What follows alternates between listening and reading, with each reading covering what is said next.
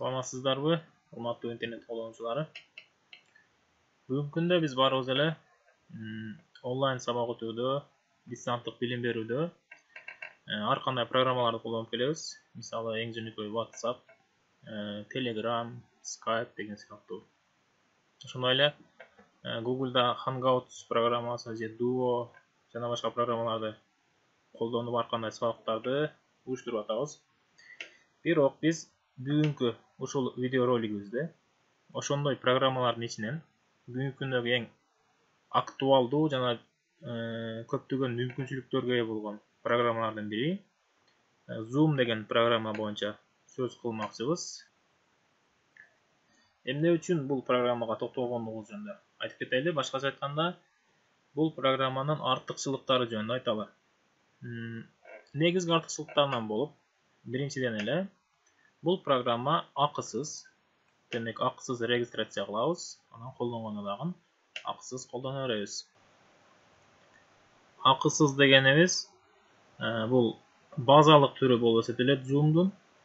Бул базалык түрүндө демек кырк мүнөткө чейинки убакыт ичинде демек акысыз э, семинар конференцияларды уюштурууга болот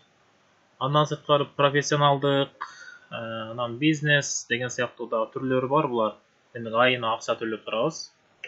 булар жөнүндө демек кийинки роликтерибизде кеңири айтабыз бул программаны биз персоналдык компьютерде ноутбукта планшетте уюлдук телефондордун жардамында да колдонууга болот ошондой эле бул программанын жардамында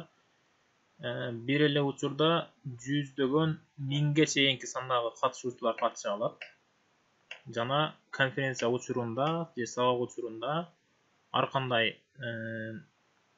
мүчүлүштүктөр болбойт мисалы кээ бир программалардагыдай көп смстер келсе же болбосо көп баягы видео кошулган адамдардын саны көбөйгөн учурда катып калып же кээ бир нерселерин ачпай андай нерселер болбойт бул жерде демек байланыш өтө мыкты иштеп чыккан ошондой эле бул программада биз студенттерди же окуучуларды ошол бир аудиторияга чогултуп окуткан сыяктуу жүзмө жүз көрүшүп окутабыз дагы. Ошол эле учурда биз убакытты дагы үнөмдөйбүз себеби башка программаларда мисалы алдын ала биз суроолорду жөнөтүп же болбосо алдын ала лекция жөнөтүп кийин кайра ар биринен анан сурап алып демек бир канча убакыт коротуп коебуз ал эми бул демек кадимкидей биз ошол студенттер менен же окуучулар менен аудиторияда отуруп сабак өткөн сыяктуу аураны жарата алат демек ошол жерден окуучу же студент кол көтөрүп суроо берип түшүнбөгөн жери болсо сурап жана башка нерселер аткара берет азыр эми мен сиздерге ушул бир конференция уюштуруп көрсөтүп берейин кийинки видео роликтерибизде бул программаны кандайча жүктөйбүз кантип иштетебиз иштетүү учурунда кандай абалдар аткара ала тургандыгыбыз жөнүндө айтабыз азыр демек конференция уюштуруп көрөлү ал үчүн ушул жүктөлгөн экрандагы значогуну zoom значогун басабыз мына бул интерфейсте демек новая конференция деген деп басып биз конференцияны баштай берсек болот бул жерде компьютердин үнүнү колдонуу менен баштайбыз эми чоң экран кылып алайлы азыр бизде видеону жандырганга мүмкүн эмес деп чыгып атат себеби биздин экраныбыз видеого тартылып атат өзү башка программа жардамында демек азыр биз конференцияны баштадык бул демек ошол жалпы көрүнүшү болду бул жерден мен азыр башка катышуучуларды кошуп көрөйүн ал үчүн мына пригласить дегенге киребиз дагы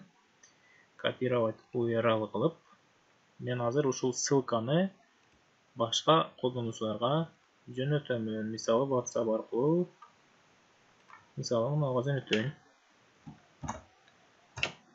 жөнөттүм азыр демек бул жерде конференцияны уюштурулганын көрүп турасыздар мен эки адамга демек ссылка жөнөттүм ошол эки адам кошулду дагы биз демек конференцияны баштадык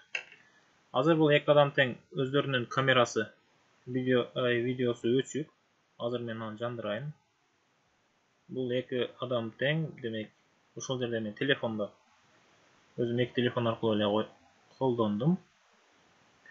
мына демек ал экөөнүн тең камерасы жанды эми бул жерде биз демонстрация экрана дегенди колдонуп жалпы ошо компьютерибиздин экранын чагылтырып бере алабыз мынаркы конференциянын катышуучуларына азыр мына жерден мен көрсөтүп берейин демек мына мына жалпы жалпы экраныбыз демек эки катышуучуда тең көрүнүп атат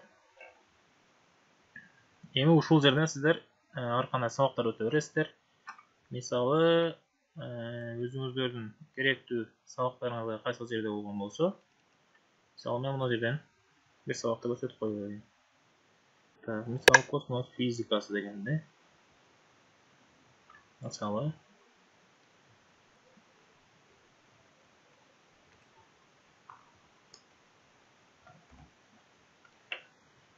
мына ушундай кылып эле демек сабак өтө бересиздер ушул сыяктуу демек бул даяр презентациядан көрсөтүп атам мына жерден демек өзүңүздөр ар кандай комментарийлерди жазып тексттерди жазып же белгилерди коюп жана башка амалдарды аткара бересиздер бул нерселер жөнүндө кийинки видеолордо кеңири айтабыз бүгүнкү видеодон максат ушул zoom деген программа жөнүндө гана маалымат берүү эле ушул жерден конференцияны токтотуш үчүн остановить демонстрацию анан завершить конференцию дегенди басып демек конференцияны токтото алабыз демек сабагыбыз дагы ушул менен аяктады кийинки сабактарда zoom программасында иштөөгө киришебиз